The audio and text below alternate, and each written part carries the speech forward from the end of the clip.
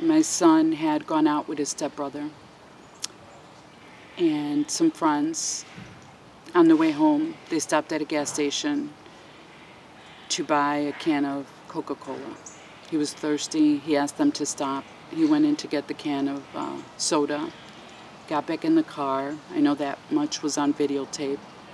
He pulled up at a red light, and a car pulled up next to him and just started shooting.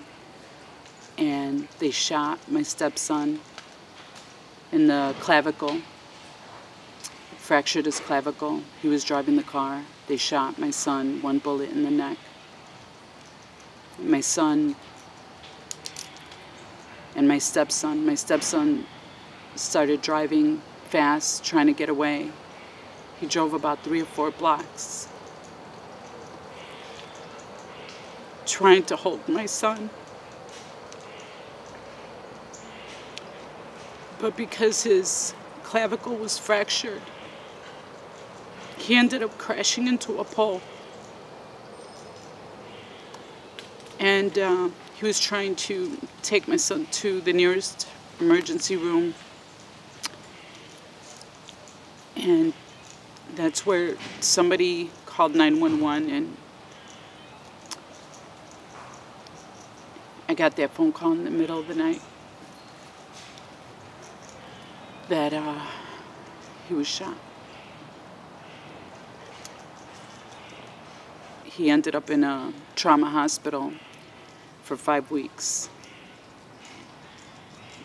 In the beginning, when he first got there, it, obviously it was a shock to all of us. And that night in the emergency room, the ambulances kept coming because there was multiple gunshot victims. And a lot of that night, I kind of forget because of the shock.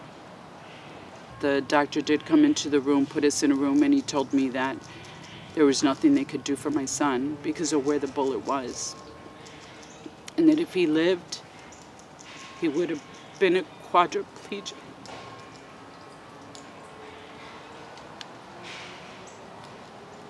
And they had him in the surgical intensive care unit for about five weeks. At first, my son was obviously he couldn't speak. He was intubated um, he had a lot of trouble because he was always biting the tubes from his throat, his mouth. He was trying to pull them. He would have tears coming down his face. We would try to talk to him. He really enjoyed music, so we would come in and play his favorite music. And um, but the tears were less as time went on. So I knew he wasn't going to survive.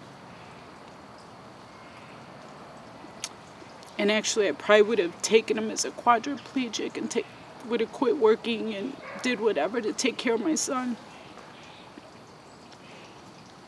But if he, his brain wasn't functioning, obviously it was me being too selfish.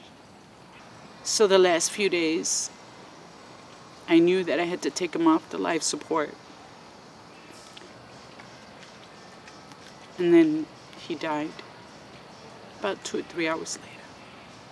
And we donated his organs because I know that's a discussion that we always had.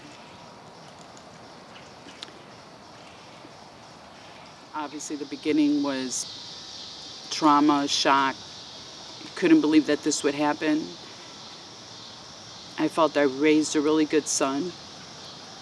He was never involved in gangs or violent, never arrested. So it was kind of hard to believe that that would happen to him. I tried to keep him busy, athletic and sports, and so I was real shocked that this happened. But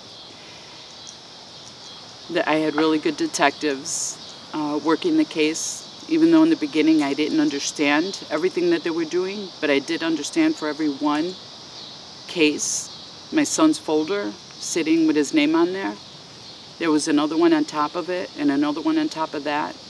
And his desk must have been, because it was Harrison, district, it was just filled with names of other people getting shot in the neighborhood from the west side to the south side.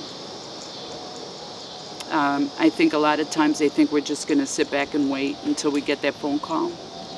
Um, and whether they know it or not, most of the moms do not sit back and wait. We go and do our own investigation. And that's when we try to start connecting with other family members, other moms.